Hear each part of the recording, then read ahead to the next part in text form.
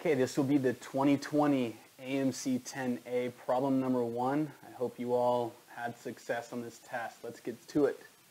What value of x satisfies this equation? You're simply going to multiply by 12 immediately.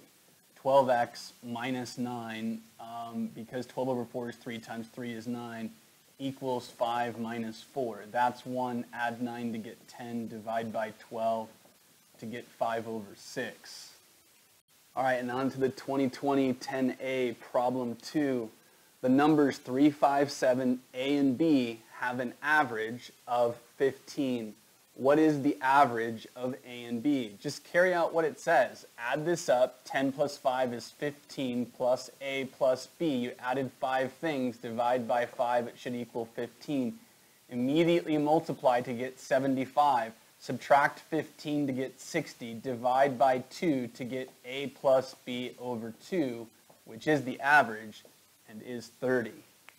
And continuing on with the 2020 10A problem 3 assuming A does not equal 3, B does not equal 4, and C does not equal 5, what is the value in the simplest form of the following expression? What you want to observe is that A minus 3 and 3 minus A are identical if I pull out a negative sign. So negative times A minus 3 equals 3 minus A. And so because of that, this will cancel to make negative 1.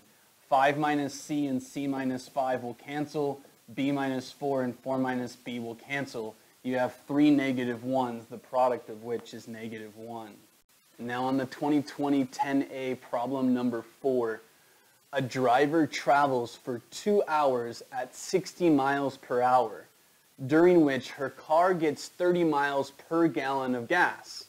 She is paid 50 cents per mile and her only expense is gasoline at $2 per gallon what is her net rate of pay in dollars per hour after this expense?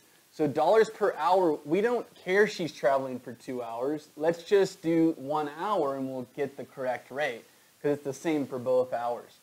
Um, at 60 miles per hour, uh, she's going to go 60 miles and she gets paid 50 cents per mile.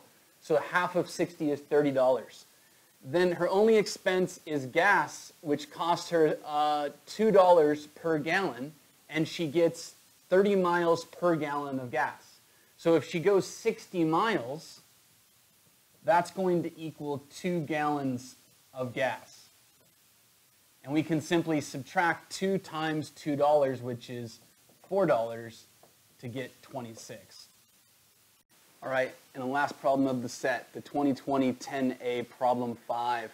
What is the sum of all real numbers x for which the absolute value of this equals 2?